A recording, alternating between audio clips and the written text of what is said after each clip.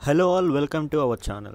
Here is the non-spoiler review of the film Radhesham starring Prabhas and Pooja Hegde సినిమా చూసాక నా experience చెప్పాలంటే భయ్య సినిమా మాత్రం బాగుంది భయ్య నాకు నచ్చింది.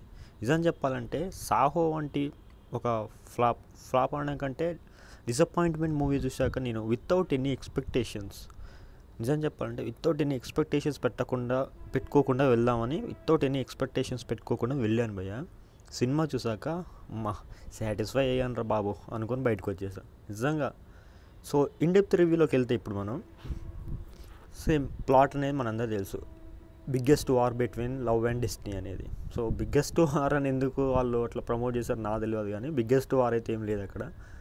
Okay war between love and destiny అని చెప్పుకోవచ్చు. ఫస్ట్ హాఫ్ ఫస్ట్ హాఫ్ వరకు చూసుకుంటే ఒక విధంగా ఉంటుంది సినిమా సెకండ్ హాఫ్ ఇంకో విధంగా ఉంటుంది. ఫస్ట్ హాఫ్ ఎంత ల్యాగ్ చేశారంటే అంత ల్యాగ్ చేశారు. సెకండ్ హాఫ్ మాత్రం ఒక్క కొంచెం ల్యాగ్ కూడా లేకుండా అలాగే వెళ్ళిపోతుంటుంది సినిమా. ఫస్ట్ హాఫ్ సెకండ్ హాఫ్ని బిల్డ్ చేసుకోవడానికి వాడుకున్నారని చెప్పుకోవచ్చు. ఫస్ట్ హాఫ్లో హీరో హీరోయిన్ కలుపుకోవడం కలవడం కొన్ని సాంగ్స్. ఫస్ట్ హాఫ్ మొత్తం సాంగ్స్ మాత్రం హైలైట్. సిచ్యువేషన్ దగ్గర సాంగ్స్ వచ్చాయి. ప్రతి సాంగ్ హైలైట్. పిక్చరైజ్ చేసిన హైలైట్. విజువల్స్ అయితే ఎంత గ్రాండియర్గా ఉన్నాయంటే అబ్బా అబ్బా అదిరిపోయే విజువల్స్ మాత్రం. నిజం చెప్తున్నా. ఫస్ట్ ఆఫ్ అలా వెళ్ళిపోతుంది. ఇంటర్వెల్ ఒక పర్లేదు. ఒక చిన్న ఇంట్రెస్టింగ్ పాయింట్ తోటే ఇంటర్వెల్ని ఎండ్ చేసేస్తారు. ఆ తర్వాత second half it's opening very well but వెళ్తుంది ముందుకు వెళ్తుంది వెళ్తుంది. వెళ్తుంది హీరోయిన్ కొన్ని ఇందులో కొన్ని ట్విస్ట్లు వస్తుంటాయి. ట్విస్ట్లు వస్తాయి వెళ్తుంది. Second half ship episode final episode వస్తుంది. ఆ తర్వాత హీరో హీరోయిన్ కలిసిపోతారు. బట్ షిప్ ఎపిసోడ్ అర్ధాంతరంగా మిడిల్లో వదిలేశారు. ఫైనల్ చూపించుకోకుండా.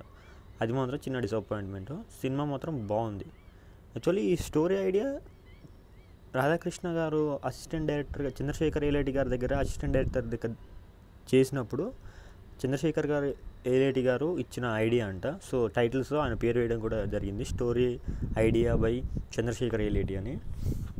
ఓకే అది చూసినాక ఐఎమ్ లిటిల్ బిట్ సర్ప్రైజ్ అనమాట సో చంద్రశేఖర్ ఏలేడి గారు అంటే మనకు తెలిసిందే అతను సినిమాలు బాగుంటాయి.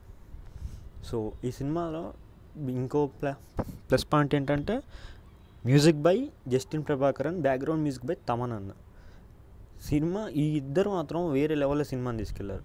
ఒక చిన్న ఫైవ్ సీన్స్ ఒక ఒక ఫైవ్ సెకండ్స్ సీన్ ఉంటుంది. ఆ ఫైవ్ సెకండ్స్ సీన్స్లో కూడా తమన్ అన్న అసలుకి ఎరగదీశారు బీజిఎం.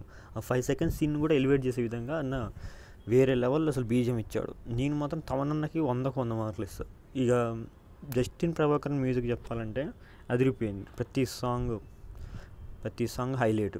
దాని పిక్చరైజేషన్ కూడా భలే కుదిరింది. Radhakrishna first half second half కోసం ఫస్ట్ హాఫ్ రాసుకున్నాడేమో అని అనిపించింది. కానీ సినిమాని చాలా ఎడిట్ చేసి పడేశారు. ఫస్ట్ ఫస్ట్ హాఫ్లో కొన్ని ఇల్లాజికల్ సీన్స్ వస్తాయి అసలుకి. ఈ సీన్ తర్వాత అరే అప్పుడే ఈ సీన్ వచ్చింది ఏంది? మధ్యలో ఏం జరిగింది? అనే కొన్ని డౌట్స్ వస్తుంటాయి. కానీ ఇక అట్లా దాన్ని వదిలేస్తుంటాం అనమాట సాహో తర్వాత డిసప్పాయింట్ అయిన అందరికీ ఈ సినిమా మాత్రం ఒక మంచి ఆన్సర్ అని చెప్పాలి. మంచి సాటిస్ఫైడ్ ఫిల్మ్ అని చెప్పుకోవాలి. మీరు కూడా నాలాగే వితౌట్ ఎనీ ఎక్స్పెక్టేషన్స్ అంటే కొంతమందికి ఎక్స్పెక్టేషన్స్ ఉంటాయి అనుకోండి కానీ ఏమీ ఆశించకుండా వెళ్ళండి. మీరు ఖచ్చితంగా దేన్నో ఒకదాన్ని ఒక సాటిస్ఫైడ్ ఫీలింగ్తో బయటకు రావడం అనేది జరుగుతుంది. That's it for this video thank you